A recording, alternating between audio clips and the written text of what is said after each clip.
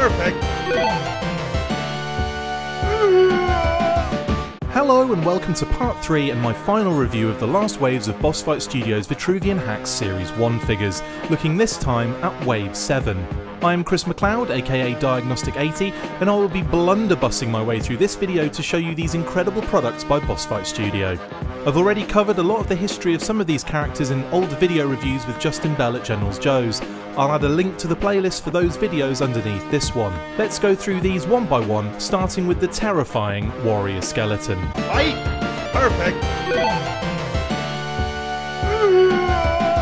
The undead skeleton has always been a frightening adversary. The thought of an army of them makes my spine tingle. My spine, that is covered in skin, muscle, fat, veins, blood, etc. These guys are just floating bones. So why so scary? I'll tell you why. Ray Harryhausen. That's f***ing why. Ever since I saw that scene from Jason and the Argonauts as a young boy, I have been terrified of skeletons being summoned from their graves to exact revenge for all of my war crimes that you can't prove anyway, so I'm not even worried or anything. Whatever. The use of skeleton warriors by Harryhausen actually began earlier than the 1963 Argonauts movie, 1958 in actual fact, in the film The Seventh Voyage of Sinbad. Nothing to do with the 90s stand up comedian. That was almost the warm up to Jason and the Argonauts, and I think looks amazing to this day. Harryhausen's form of stop motion model animation, or Dynamation, was a real innovation in the film industry and, as I said before, made skeletons somehow more frightening by giving them swords and anger problems. In Greek mythology, these warriors were known as Spartois, and as the story goes, were conjured up from the ground by dragon's teeth sown by Cadmus. How did he get these dragon's teeth, you ask? Well, the oracle at Delphi instructed Cadmus to follow a cow and found a city wherever the cow stopped. Seriously. Cadmus arrived in Thebes, Greece, and wanted to sacrifice the cow. Yeah, I know, real nice after the cow did all the work. Cadmus sent his men to a nearby spring to fetch water, only for a number of them to die at the hands or mouth of a dragon that guarded it. Cadmus killed it with his sword and later found out that it was sacred to Ares. Athena gave Cadmus half of the dragon's teeth and told him to sow them. When he did, armed men sprung from the furrows and fearing what they might do to him, he threw a stone at them. This confused the men, thinking that one of the others threw it first and started fighting amongst themselves, leaving just five standing. Echion, Udaeus, Chthonius, Hyperenor, and Pelorus. They helped Cadmus found Thebes, but he became a slave of Ares for eight years to atone for killing his dragon. Pretty standard, really. The other half of the dragon's teeth found their way to Jason of Colchis. Yes, you guessed it, Jason of the Argonauts fame, and the quest for the Golden Fleece. The story goes that Aeetes, the king of Colchis, had been given the teeth by Athena and in turn forced Jason to sew them in order to win the Golden Fleece. Jason threw a rock at them much like Cadmus did, and they all ended up killing each other. Amazing. The 1963 film tweaked the story, of course, and made them skeletons, which was a masterstroke. Fight. Perfect. So, the warrior skeleton. We got all sorts of regular skeletons previously in varying colours, even a cursed skeleton in Wave 5, and due to the customisable nature of the line, lends itself to making this type of warrior. There are inspirations in the Spartois and the films I mentioned earlier, but this feels more like a natural progression when you have the skeleton and a ton of accessories to go with it. Anyway, here's the James Griffith art. Very cool. It looks so bad already. Paddy Lennon has gone with a very interesting new angle and backstory for these guys, claiming that they are an army of the dead consisting of many different warriors from Athenians to Spartans and can be summoned by any of the 12 Olympian gods. Additionally, and my favourite aspect of the story, is that they are summoned for a specific task, with their souls bound to the bones until they have completed the mission, upon which they return to the ground and the souls to the underworld. I've been loving the world building by Paddy and can't wait for more Total Hacks books. I will leave another link below this video for anyone that hasn't purchased a copy of the first volume by Brian Hickey and Paddy Lennon. You need it in your life. This little skelly comes with the generic spear in gold and silver, small plastic spacers for use on the figure stand so they can stand up and to apply on the limbs for armour to stay in place, one sword, epic shield with octopus tampo for no other reason than it looks amazing, a gold and black helmet, shoulder guard and harness, wrist gauntlet and bicep gauntlet that come off when the hand and forearms are removed respectively. This was easier than expected, and the arm still felt solid when reattached. The gold shin guards that took some shimmying over the ankle joint to remove, there's a very sexy fustanella that can be accessed via the waist separation, and that's it for accessories. In naked mode we can see the beautiful colour wash on the bones and that head sculpt is so good with the articulated mandible. The legs have always been slightly awkward to position but I understand some articulation must be sacrificed in order to make it look right as a skeleton. The skeleton body is awesome. How they have managed to find a balance between the aesthetic of a skeleton and the practicality and the articulation, and then to make it still feel solid is quite remarkable. All geared up and this thing is ready for war. I'm guessing based on the armour that we have a female warrior here, which is pretty cool. I will call her Nelly. Nelly the Skelly. Fight! Perfect! Next we have the Myrmex Warrior. Myrmex is the Greek word for ant and sounds like a product you can buy to get rid of them. Legend has it that the Myrmidons, Achilles' army native to the region of Thessaly, were created by Zeus from a colony of ants. In Ovid's Metamorphoses, the story goes that a plague wipes out the population of the island Aegina, the plague, caused by Hera, who was jealous that the island was named by Zeus after his lover, forces the king Aeacus to pray for the repopulation of his island to Zeus. Zeus responds with a flash of lightning, which in turn makes Aeacus believe he has listened to him.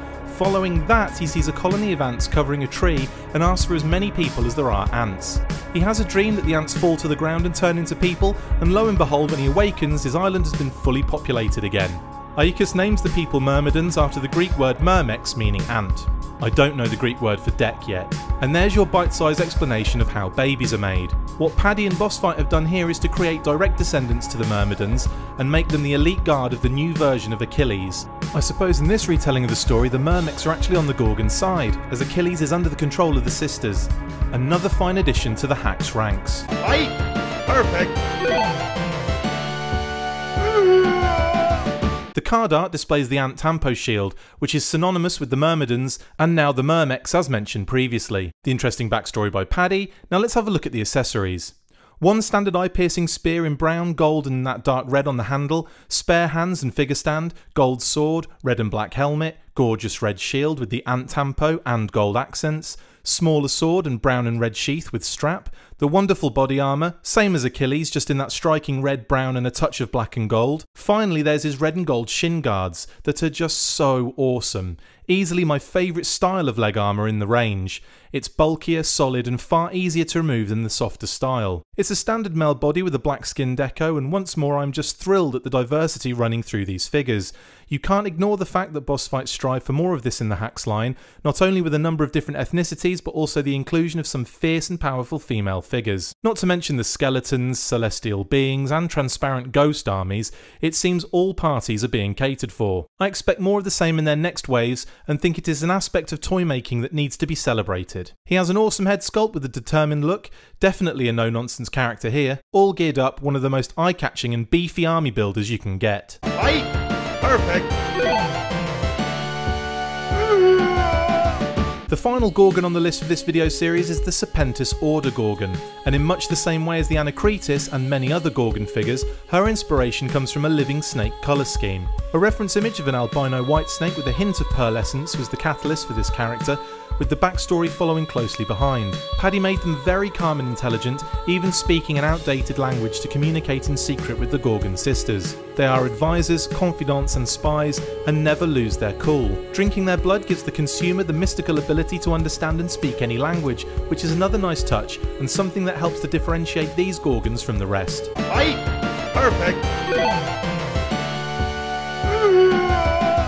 More great card art. This time we have a rather sinister smoke emanating from the eyes, which terrifies me. The backstory that we've already discussed, we get spare hands and a figure stand, and what is also mentioned in the file card is the nearly unbreakable crystal armour and weapons they wield, which gives Boss Fight another excuse to create some rather stunning transparent accessories. Two gorgeous swords, a snake skull helmet, body armour and wrist gauntlets, all in the same transparent purple. Not a lot of accessories, but when you look this good, you don't need to overdo it, much like the Berserker in that sense. They really do ooze that elite personality just looking at the deco. It's a very sophisticated look and the closed mouth adds to that calm and calculating demeanour. The entire front of the figure is a stunning bright white with a hint of purple pearlescence on the back, giving it a look that you wouldn't think was actually plastic. It is both subtle and gobsmacking at the same time, All geared up, and the transparent armour looks sensational with the gorgeous colour scheme on the body. My favourite Gorgon changes every time a new one is released. This is my new favourite Gorgon. Fight! Perfect! Finally, we have the Helios Warrior. I talked about the Eos Warrior in the last video and mentioned that the Helios Warrior would tie in with this backstory, so here we go. Helios was one of the Titans, the personification of the sun, brother to Eos, goddess of the dawn, and Selene, goddess of the moon. We don't have any Selene warriors yet, but how cool would they look? Hopefully they wouldn't all be pulling moonies. On a daily basis, Helios was said to drive the chariot of the sun across the sky, pulled by his fire darting steeds, named Pyrrhus, Eos, Ethon, and Phlegon. Dasher, Dancer, Prancer! Vixen, Comet! Cupid! Daughter, Blitzen! Rudolph. One of the best known stories involving Helios is that of his son Phaethon, who attempted to drive his father's chariot but lost control and set fire to the earth. Sounds like a Saved by the Bell episode on steroids. How do you explain that to dad? Hopefully, had third party fire and theft insurance, as opposed to Earth, Wind, Fire and Theft insurance.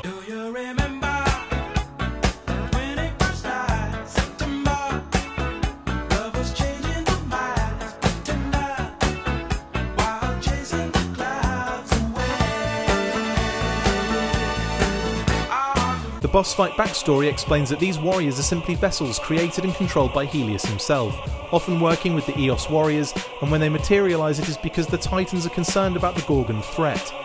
Love the way they have been incorporated, and it gives us opportunities to see other Titan armies down the line, re Selene Warriors of the Night. The beauty part of the whole line is that you can create your own custom warriors very easily just using the blanks and accessory sets. Think of the awesome possibilities when you start adding paint.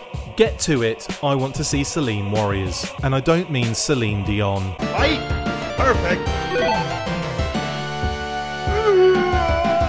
This is probably my favourite card art so far. The flames licking off his head and the pose are really eye catching. You can almost feel the heat emanating from the packaging.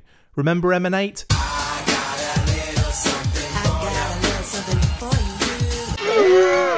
No, me neither. Random. Anyway, more good story elements as discussed previously. Accessories, he has a kukri blade that you would expect to be the same as the Eos Warrior's weapon, but it has an extra transparent part at the base of the handle. Nice touch to further differentiate the two. Figure stand and spare hands, like all of the times. Long sword, candy red helmet with no plume this time, the same glorious shield that the Eos warrior came with, and ties them together very nicely. That tampo is so cool. Easily my favourite sheath colour so far. The bright orange and yellow make for a beautiful accent to the other bright colours in the body and the other accessories. It's just so cool looking.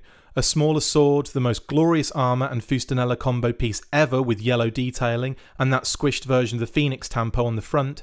Seriously, this is just epic. The orange, red, and yellow work so well together and gives the illusion of the different layers of fire. Finally, we have my favourite style of shin guards in candy red. I would like to have seen yellow or orange on the ornate detailing, and because of that, the Myrmex Warrior edges it on the favourite deco of these guards so far because they added a gold trim to them. Maybe they experimented with this and decided it was too much. I will bow to Boss Fight's expertise on this one. Anyway, all geared up, he looks sensational. There is something about the transparent figures that I just can't get enough of. The more insane the deco, the better for me, and as a lover of all things 90s in the bright colour toy department, these Vitruvian hacks are right up my Strasser. Fight! Perfect! So, overall, the figures I've looked at over the last three videos have been great in so many ways. I find it hard to pick faults with them, mainly because there aren't that many. A few tight fitting armour pieces and a touch of paint rub is about as bad as it gets. You would be hard pressed to find a set of figures in this scale that are more versatile in their build and design. Often we find that sacrifices are made in either the look or articulation of the toys. Boss Fight have simply found a very nice balance in aesthetic and practicality. I've noticed when people have criticised certain figures from the line, it has been the general consensus that it is a one-off problem or defect in the manufacturing process, something you just have to come to terms with in a mass-produced line of figures. I have been lucky to have zero issues with the figures I have purchased from Boss Fight, and you can clearly see the quality of them in these videos. Just because I love them doesn't mean you will, but I can guarantee that you will appreciate the quality of these amazing toys. We've been spoiled with a large number of figures in this first series of hacks.